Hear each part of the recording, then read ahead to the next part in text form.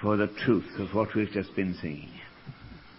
How we thank you for the amazing things that can happen to each one of us and in us and through us when He is Lord.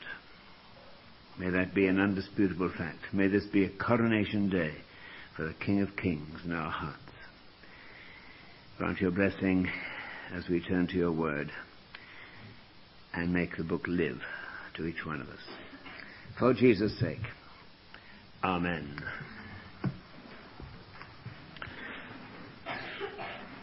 There's another list up there now for uh, Monday, June the 6th, for anyone who would like to come with questions and problems to Willowbeck. You'll find the list just below the other one on the board. That will be at 9 o'clock on Monday week. It's a bad night for you because you're going home just uh, on the Thursday or something. So I shall quite understand if nobody can come. But um, if you want to and you can, we'll be glad to see you. Now then, Charles and I have swapped round hours this morning, partly because he's not well. He's doing the second hour instead of doing the first and third, and I'm doing the first and third because I wanted an extra hour.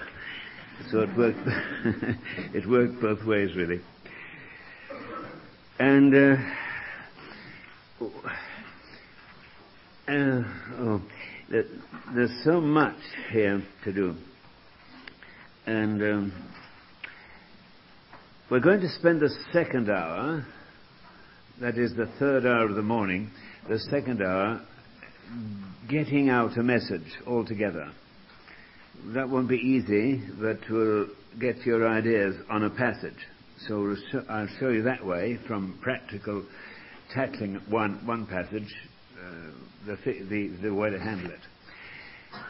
And the first this hour this morning is a bit theoretical because I want you to understand what homiletics really is. And uh, at least if you get an idea, you'll know the lines to, to go on.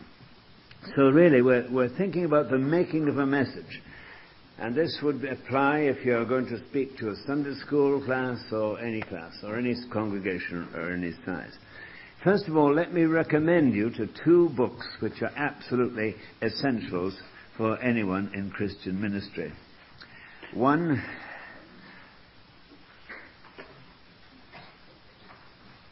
the, the craft of sermon preparation.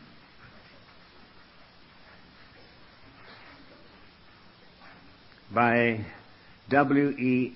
Sangster, S A N G S T E R. the craft of sermon preparation. And the second one, the craft of sermon illustration by the same author. He was a man who occupied the pulpit of Westminster Central Hall for about 20 years and filled it every Sunday, twice a Sunday, with tremendously powerful preaching. And those two books are really absolutely wonderful helps. Necessary for all of us, really. Now, uh, let me just begin by saying, and getting you to put down, you can't escape the discipline of wide reading. and hard study.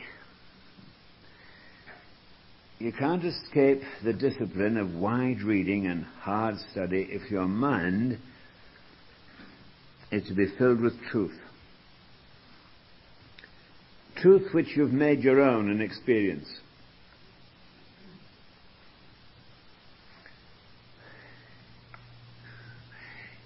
Repeat, you can't escape the discipline of wide reading and hard study if your mind is to be stored with truth which you've made your own in experience.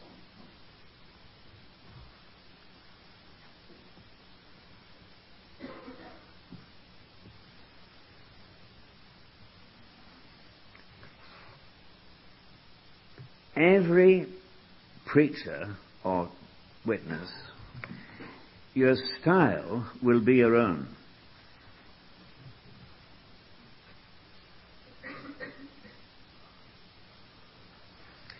But it'll always be capable of improvement.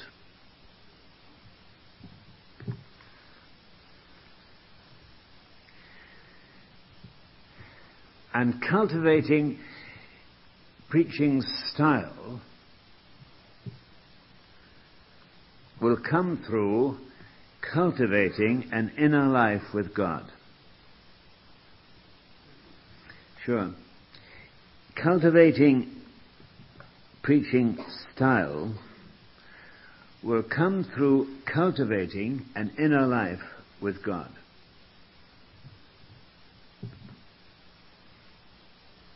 Not just by more fluent language, but by being lifted unto a deeper life in Jesus that produces greatness. By being lifted unto a deeper life with Christ, which produces greatness. 2 Samuel chapter 5, verse 10. David grew greater and greater because the Lord God of hosts was with him. That's the secret.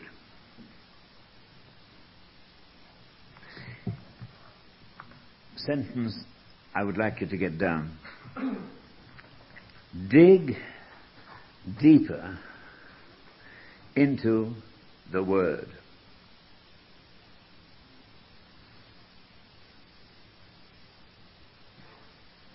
Dig deeper into the Word, recognizing its supreme authority.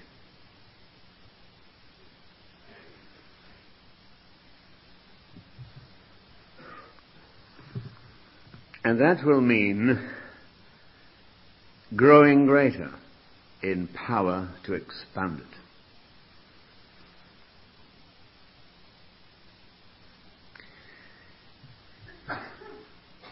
Bless your heart. Digging deeper, I'll repeat, digging deeper into the Word in recognition of its supreme authority will mean growing greater in power to expound it.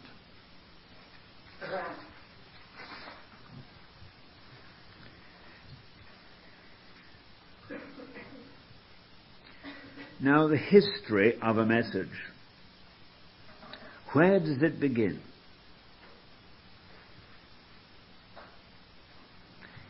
It begins in your quiet time.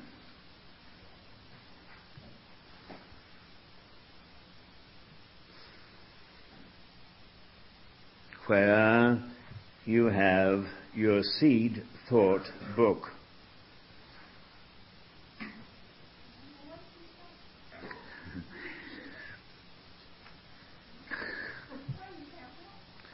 Where you have your seed thought book. I'll tell you what that is in a minute. Eh, seed. yes. That's the American Revised Version. Eh, seed thought. You know what that is? I'll tell you in a minute. Seed thought book. You should all, all of you, without exception, whether you never preach a sermon in your life to anybody, you should all have a seed thought book. That means going to the bookshop and getting one. You've got one. Good, that's fine, that's good.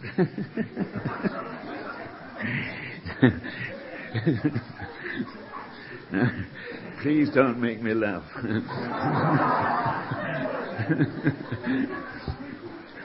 Oh dear, that's fatal. um, are you going away today? I'm very, very sorry. I really, I'll miss you. Oh, dear. I'm sorry, it's just a stupid English sense of humor. A seed thought book. By that I mean, in your quiet time, when you're reading the Word of God, suppose you set 30 minutes for it. And suppose you spend 15 minutes of it reading the Word of God. In that time, you will only probably read one chapter. And you'll ask yourself those questions that I suggested yesterday about each chapter.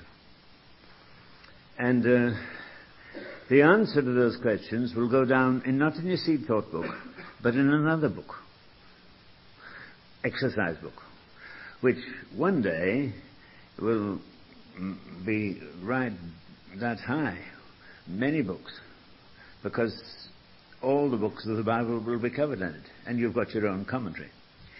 But the seed thought book will contain the answer to one question. One question that I suggested you would put to yourself was, if I never saw this verse or this psalm or this chapter again, what would be my favorite verse? I mean, what verse has really hit me? See? And you put that into your seed thought book. Psalm 1 or whatever, John 1, whatever it is, seed thought book. Down it goes. John chapter 1. And the next day you do the same. And uh, during the next, sometime during the next day, uh, during that day, you come back to that seed thought book. And you come back to that favorite verse. And you say, Now, Lord, what does this verse remind me of? Is there anything else in the Bible that's saying this? Can I compare some other verse with it? And you'll begin to put other verses around it, and it'll begin to build up that seed thought. And it gradually builds up. You've got all sorts of material there. And the next day, having done the same thing in your quiet time, you have another seed thought for the next day, and the next day. And then about three months later, somebody says, Do you mind um, speaking at our Bible class tomorrow? Or next Sunday? Oh, you'll say, I just love it. Thank you. And you go to your seed thought book and say, Now, Lord, what do you want me to say? And you go through page after page, and one, one will suddenly jump and say, I want to get out of here. My turn. And then you turn over another page, and they say, No, I want to get out. And then you go a bit further. No, I want to get out. I've been here longer than anyone. Come on, let me out. And the, you, you suddenly get yourself absolutely excited. Now, which of these am I going to speak about? And by the time you're ready to go, boy, oh, those seed thoughts are crowding in. See? That's where your sermon begins. Got it? Thank you very much. That's the history. at least the origin. That means, that means that the origin of your message is being, has been given to you by God, not by some commentator, by God to you personally. Now, of course, uh, it will require study uh, of commentaries some of which you probably won't agree with. And it'll require uh, careful thought and study in all sorts of ways. But it begins there. And therefore, it's your own message. Get me? Oh, yes, amen. yes.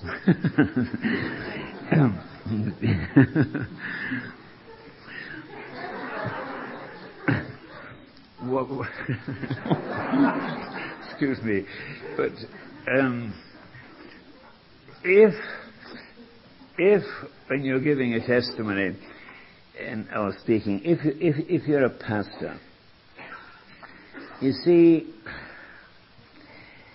let let your mind wander six days a week on anything except the things of God, then your whole message will be superficial and poor, won't anything in it. Then what happens is you suddenly find yourself faced with the responsibility of speaking to other people on Sunday and you've nothing to say, but you've got to say something. And you're embarrassed.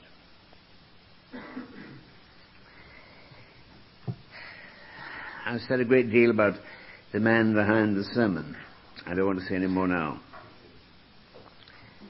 But beware of thinking that every time you stand up to speak, it's got to be a masterpiece. Introduction, three points, conclusion. No, no.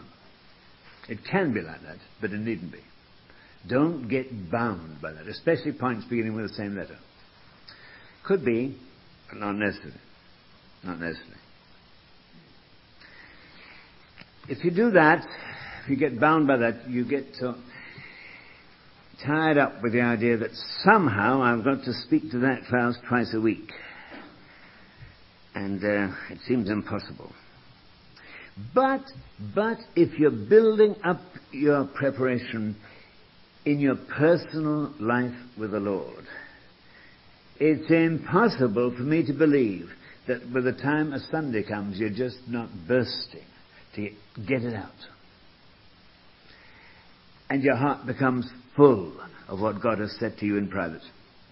What you've heard in secret, you're eager to tell other people in public.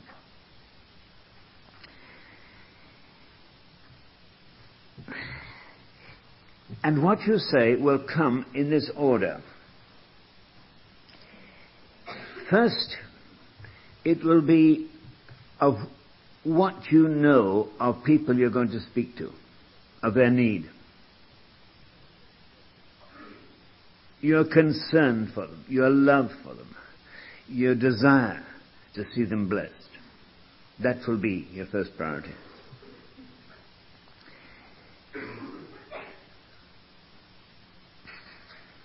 The second concern in your ministry will be to avoid what I call butterfly preaching.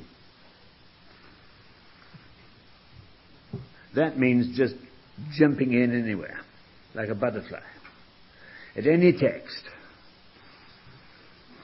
in any portion of Scripture, just a shot in the dark, butterfly preaching.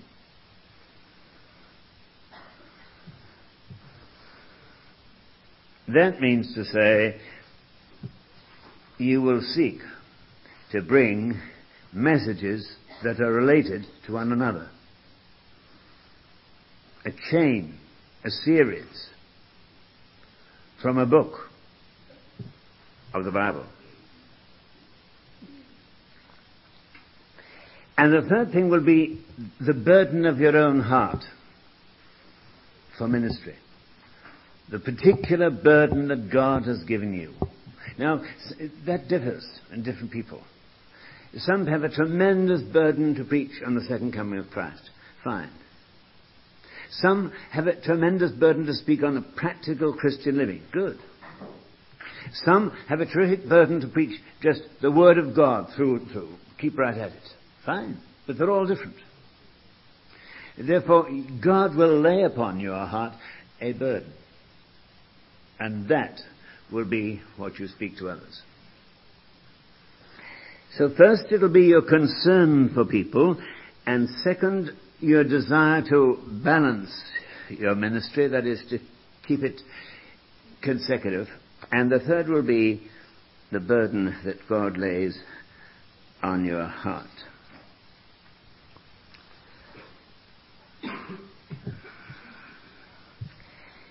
Now, as you get down to prepare,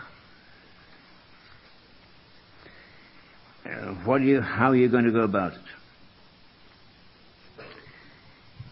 It won't be by cramming. It'll be by careful, considered study.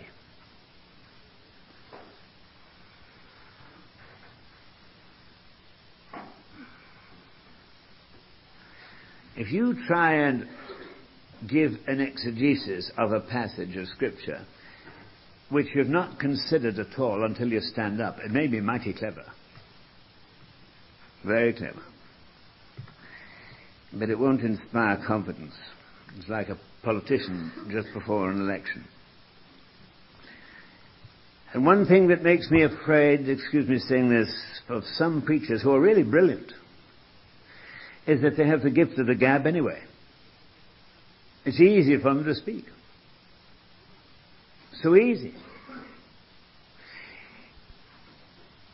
As I talk with others and ex- unburden my heart, and uh, they unburden to me, uh, their ministry has really cost them something. It's really cost them something. And therefore, remember that it's always truth coming through personality. And therefore, truth you get hold of on a Friday and you're going to teach a class on a Sunday doesn't have time to get through you. See? It comes over you. Can't get through you. Gets across you. It's truth, book truth, but not your truth. It is truth, but it isn't lit up by a personal experience of it. That makes all the difference.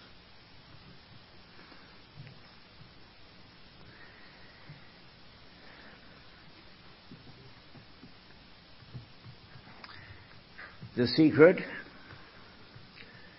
admit the Word of God to your mind,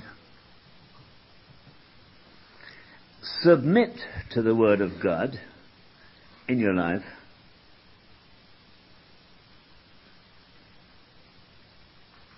commit the Word of God in your heart, and transmit the Word of God to others.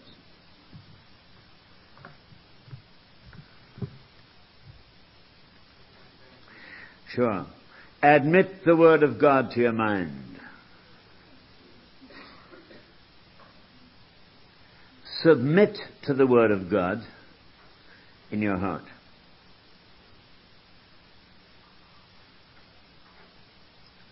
Commit the Word of God in your life. Transmit the Word of God to other people.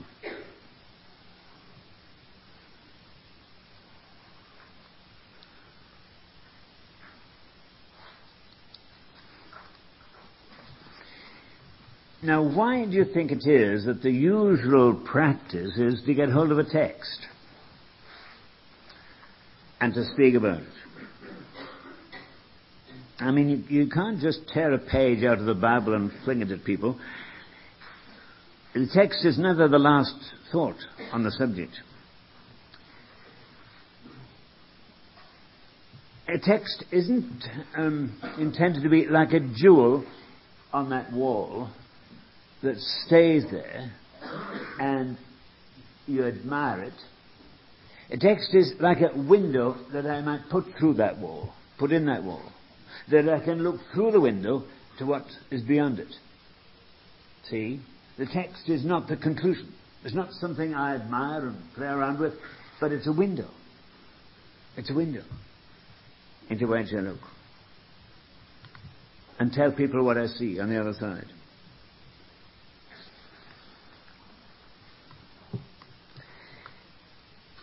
Therefore, I'll avoid making a text mean what it doesn't really mean. For instance,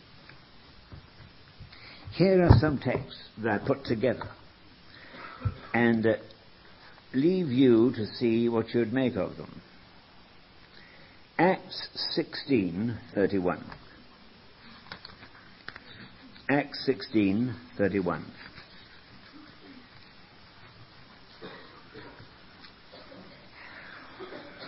Oh, Philippian jailer had said, What must I do to be saved? Verse 31. Believe in the Lord Jesus, and you will be saved, you and your household. Right? Put alongside that text this one. John 6, 28, 29. John 6, 28 and 29. Then they said to him, What must we do to be doing the works of God? Jesus answered them, This is the work of God, that you believe in him whom he has sent. Got that one? Now, James chapter 2 and verse 20.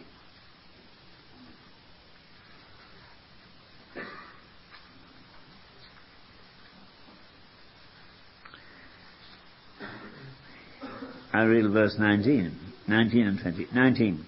You believe that there is one God or God is one? Good. You do well. So does the devil. Even the demons believe.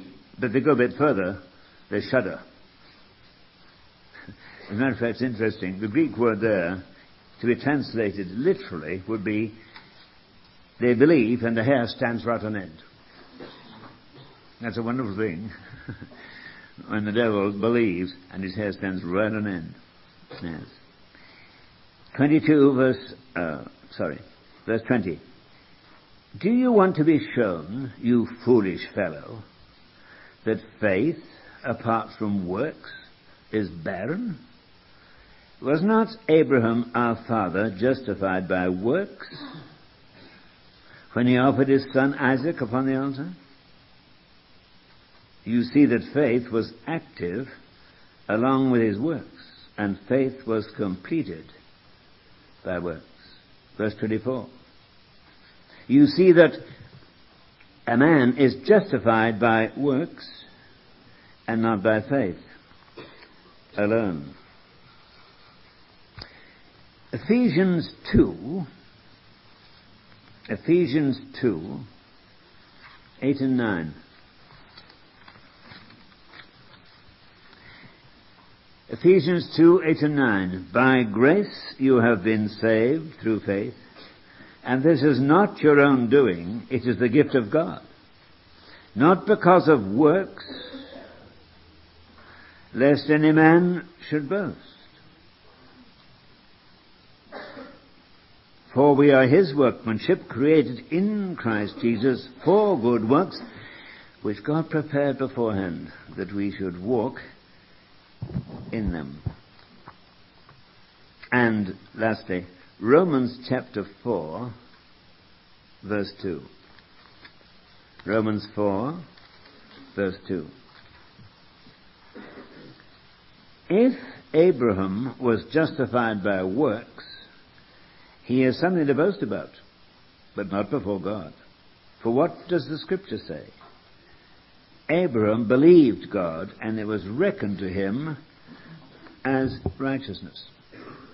Now, Put all those texts together on paper and think them through. And you won't preach on Acts 16:31 easily. Believe in the Lord Jesus Christ and you shall be saved. You'll find that tough.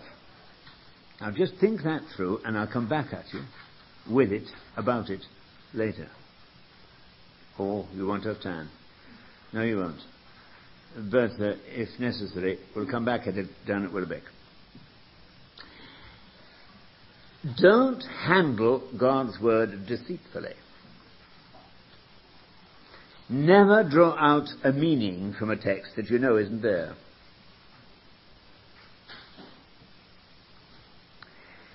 Now, you can put messages, material that you actually get from seed thoughts and write out.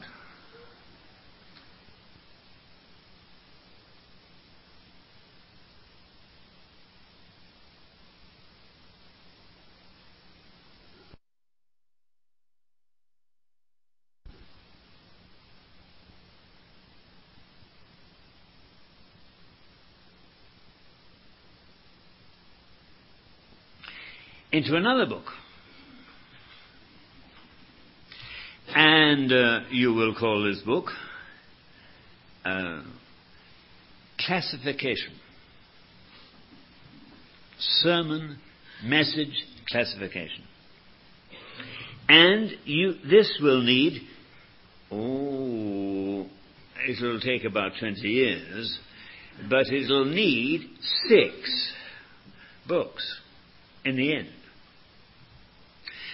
You can uh, just jot down these headings and then leave them, and it'll be interesting to see. Let me know in 20 years' time um, if you've got these books. See?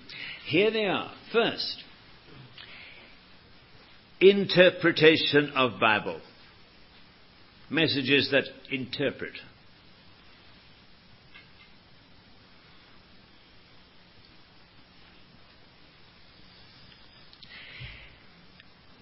Second, devotional and ethical.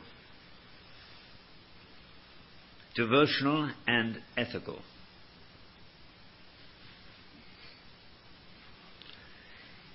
Third, doctrinal.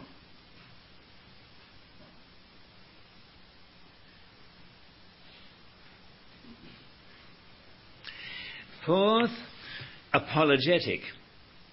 That doesn't mean apologizing for God's word. It means getting behind the book. Getting behind it explaining what it means. Apologetic. The fifth will be social.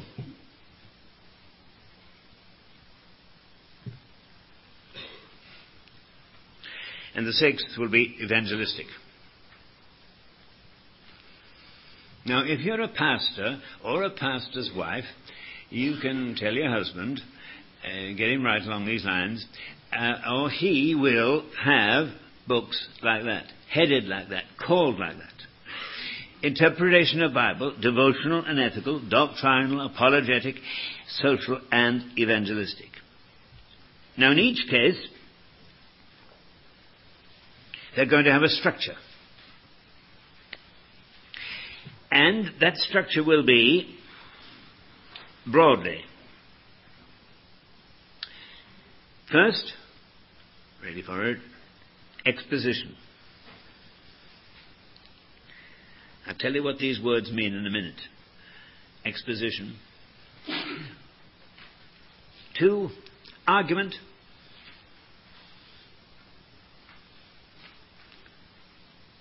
Three, here's a word you've perhaps never heard before. Some of you will have. Faceting. F A C E T I N G. Faceting. Four, here's another one you won't have heard of before.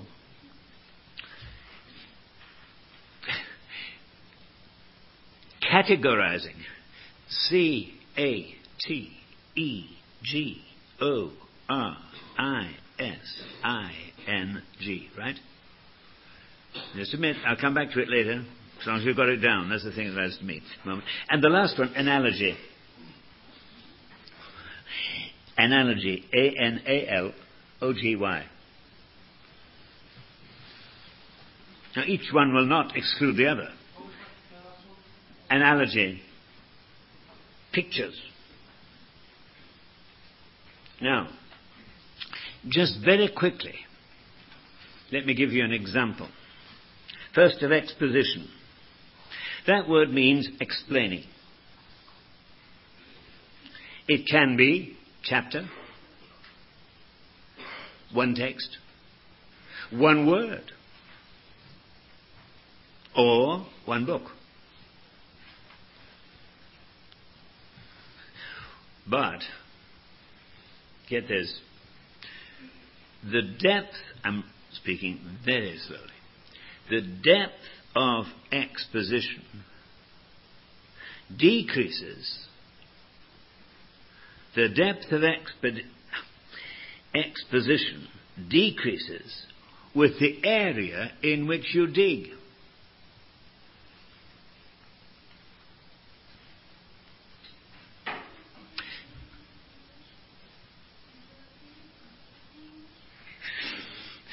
Uh, I'll try. I'll give an example. The depth of exposition will decrease with the area in which you dig. By that I mean, if you take a text, you can go right down to the bottom, like eating a boiled egg, and you come to the end of it, to the shell, everything. But if you take a chapter or a book, you can't do that. You won't get so low. You spread out. So the area in uh, the, the depth of your exposition, going right down to the bottom, will decrease if you dig wider. Get me? Take an example. You can take one text and empty it. Except, of course, you never really do get to the bottom of it, but you think you have. You can t- put text side by side. Let me give you an example of that, which di- illustrate different aspects of truth. Take, for instance, Galatians 6 5.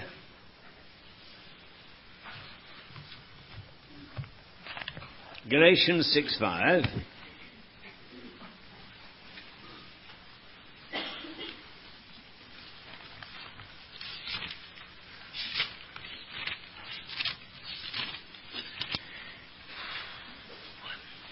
Each man will have to bear his own burden.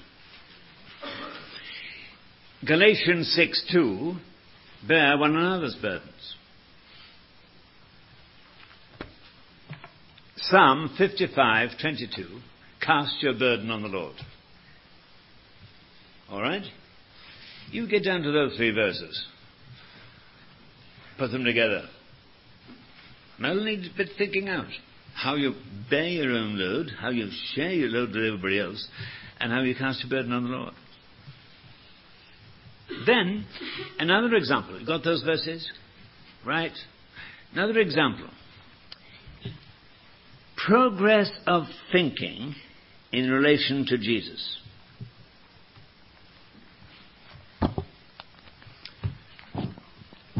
Progress of thinking in relation to Jesus. John 10, verse 20. John 10, verse 20. Many of them said, He has a demon. He's mad. Why listen to him? John 7, verse 12.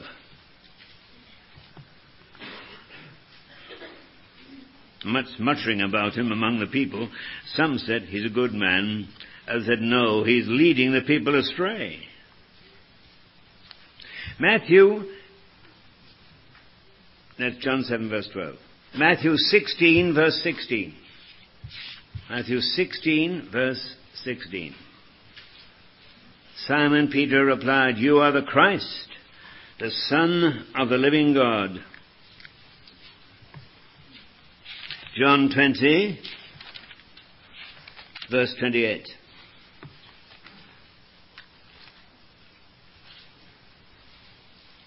Thomas answered him, My Lord and my God. There is, are the bones of something that you could give on progress of thinking about Jesus Christ. Many other verses, but there's an example.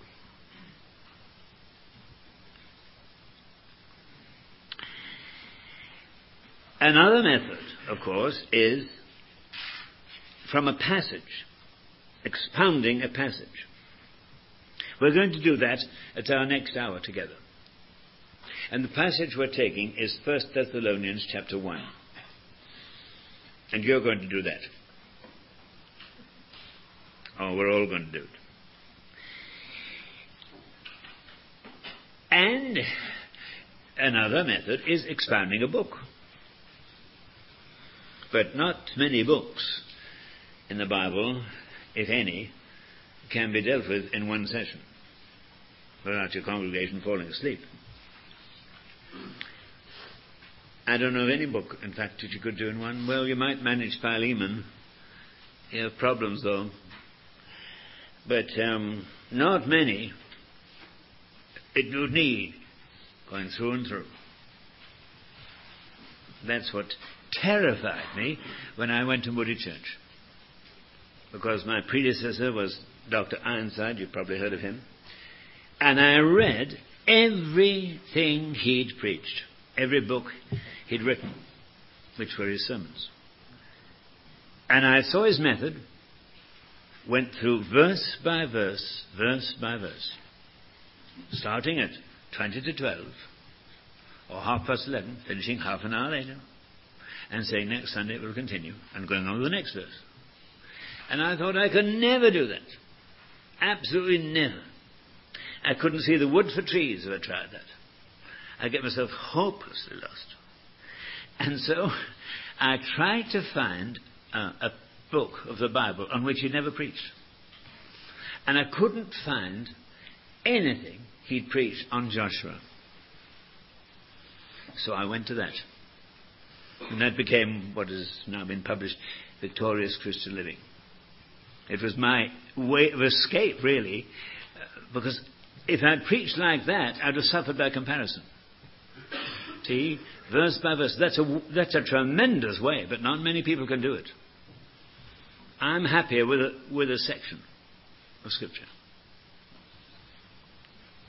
I'm not suggesting you should buy the book to have a look at it, but Um, you do? Bless you. Sorry, you're going. I am really. yeah. And I'll tell you a thing that thrills me to preach on Bible biographies, Bible characters. Ooh, you would get so excited about a man like Jacob and a man like Abram and a man like David and a man like Saul and Solomon. Oh, tremendous. I recommend to you uh, Alexander Whyte, W H Y T E, on Bible characters. Tremendous book. Bible biographies. Of course, when you're preaching on Bible biographies, you've got to get to the point when you are no longer examining the character, but you find he is examining you. That's where you get the punchline from. I'm amazed at the sheer lack of application of the Bible to ourselves. What's it saying to me? That's what God wants to use it for. So when you're preaching on Bible characters, you'll suddenly find yourself looking at a mirror. Especially if you look at Jacob. Married the wrong woman. Got into a business partnership with a pagan uncle and blew it all. But my, after 21 years, the Lord said, Come on home. I've had enough of this. And he brought him home. But on his way, you remember, he heard that Esau was after him.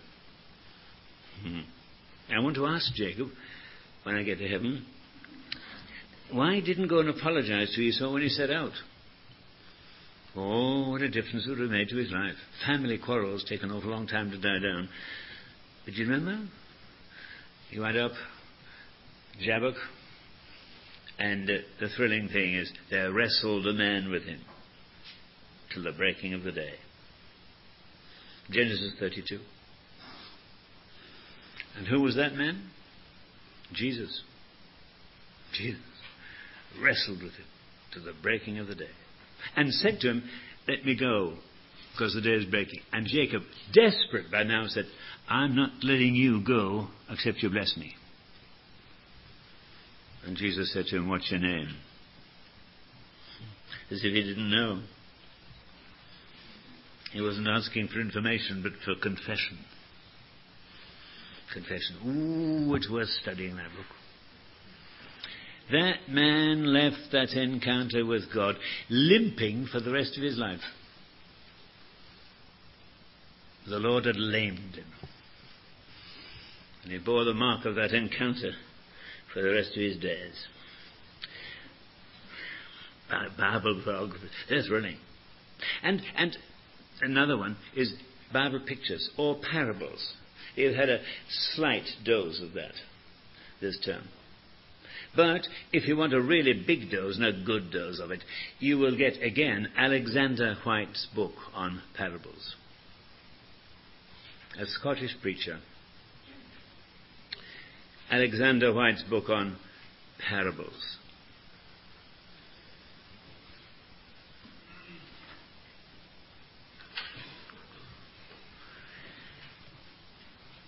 So there's um, the passage in the biography and there's pictures. Mm-hmm. I thought it would happen. Uh, hold it one moment. Mm-hmm. Yes. Hmm. I gave you um, exposition uh, now there's argument, faceting, categorizing, and analogy. And uh, one minute to go. Stupid. I'll just give you one word concerning this second one and then leave it. Argument that means laying down a thesis or a statement and explaining it. That's what I mean by argument. Laying down a statement and explaining it.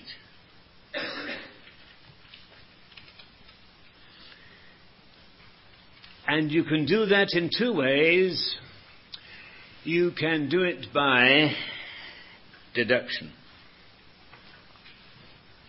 That means arguing from an established fact.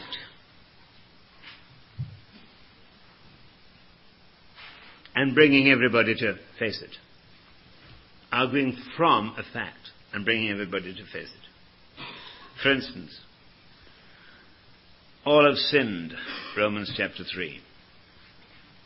Therefore, all need Jesus, Isaiah 53.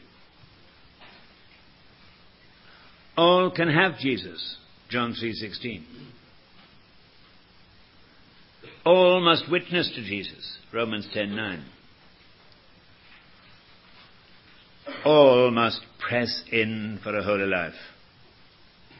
1 Peter 1:15. That's deduction. Start again. All have sinned, Romans chapter 3. All therefore need Jesus, Isaiah 53. All may have Christ, John 3:16. All must witness to him, Romans 10:9. All must press in for a holy life. 1 Peter 1:15. Got those heads? Very, very, very. Uh, what? All must press in for a holy life. 1 Peter 1.15. Now, th- th- there, there, there, you've enough material oof, to let yourself go on that.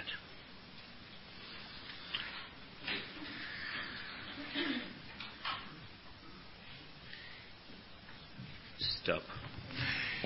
Goodbye, bless you. See you again about an hour's time.